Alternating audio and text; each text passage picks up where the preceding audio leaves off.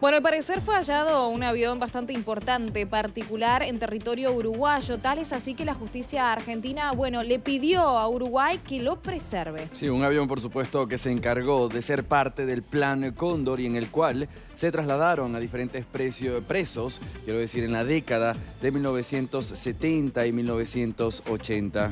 El exhorto internacional firmado el 15 de junio por un juez federal solicita a las autoridades jurisdiccionales uruguayas competentes que dicten una medida cautelar que disponga a preservar el estado actual del avión, allí que estamos viendo con código de identificación que fuera registrado con la matrícula 0653. La aeronave se hallaría en el aeropuerto internacional Ángel Adami de Melilla, en las afueras de la capital uruguaya en Montevideo.